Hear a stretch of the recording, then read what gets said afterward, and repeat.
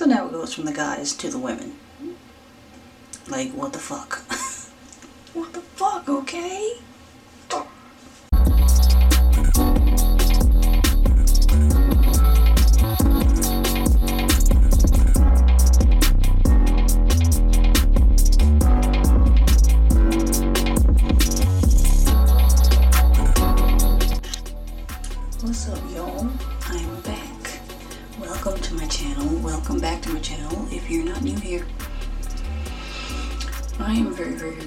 Sleepy tonight, but I gotta get this video out for you guys. So, um, yeah, I'm gonna try to not be so boring.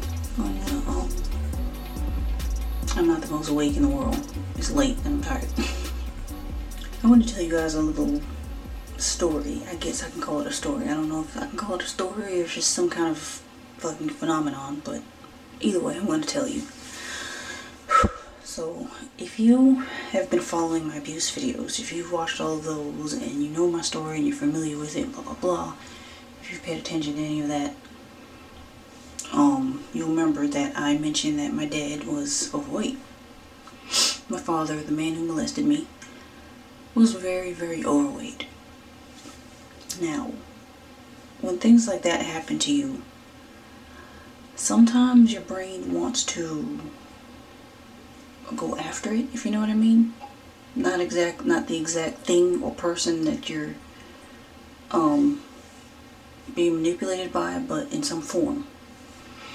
By that I mean, by that I mean, I think I was subconsciously attracting fat guys to me years ago.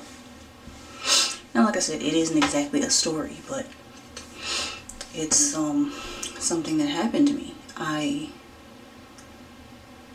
think it happened. It started happening in high school.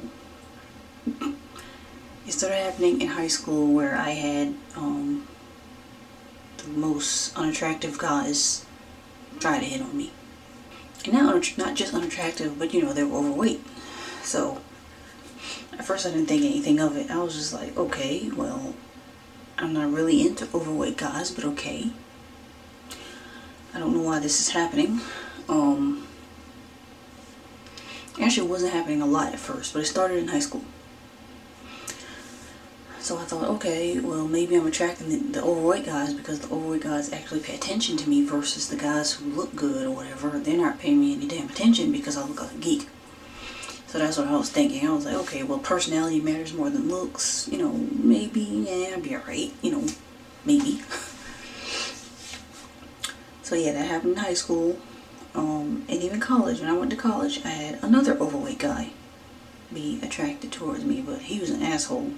This one that was attracted to me was um, an asshole. That was the one from the video that where he stole my books, the one I mentioned, my books. He stole one of my, my erotic books in college, if you remember that story. That was the one. He was very unattractive and very overweight. And then after him came another guy. There was another guy a little, little later on in life who appeared to be very attracted to me and they were like kind of in between guys who were kind of trying to hit on me and they were overweight but I've had three serious guys in my life that were overweight and they were trying to get with me. And I thought that was some kind of pattern because those are the only type of guys interested in me besides my husband. And I just thought that was um, fucking weird and because my dad was overweight, it was like a subconscious reaction in my mind, like that's all I was able to attract. So I just thought, um, maybe it's all I deserved. You know what I mean? I was in the mindset of fat guys is all I deserve. So even when I got married, I guess I still had that mindset because like I said, along came another guy. He was very big and I was not attracted to him. But he was very much into me and uh, that was a very bad situation I don't want to remember. but either way, I've always been attracting these huge guys and I'm like, why?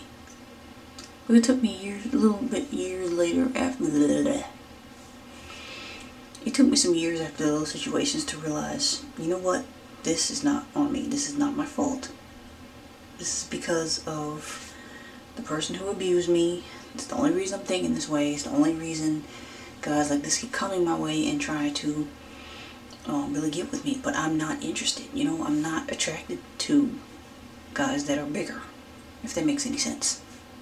So that's that's just what kept happening. And even has that happened recently? No, it has not happened recently. Um, no, it hasn't happened recently. What's happening recently is now I'm starting to attract bigger women. so now it goes from the guys to the women. Like, what the fuck? what the fuck, okay? No offense, no offense against overweight women, but now I'm starting to attract a bunch of overweight women. And I'm happy that it's not the guys anymore because that lets me know that the pattern, the mindset that I had years ago based on what my father looked like is gone. Because I have not had any overweight guys try to get with me in a long time. Like seriously, it just was like a sort of serious thing that that hasn't happened in a long time. So I'm very very grateful. That is like a um, it's like a milestone. Can I say milestone? I don't know. Hell, it's some kind of progress. You know, I count it as progress because I don't I don't get that anymore. Um, like I said, now I'm attracting the bigger women that I'm not really attracted to, but I mean, if you're chubby, that's one thing, but if you're like fat, fat, mm-mm. But anyway, that's the end of the story. I mean, it was nothing spectacular. It's just something I wanted to put out there. I want to let y'all know that I used to attract these big, big, big guys, and I just was like, oh my god, I was always turned off. I was always completely turned off with the fact that I was attracting these huge guys. And I knew it was because of my dad. I just knew it was like a subconscious thing I knew for years, and it was hard to get over. Now I'm over it. y'all. I'm fucking done. If another fat guy comes up to me talking shit, I'm, I'm gonna be like,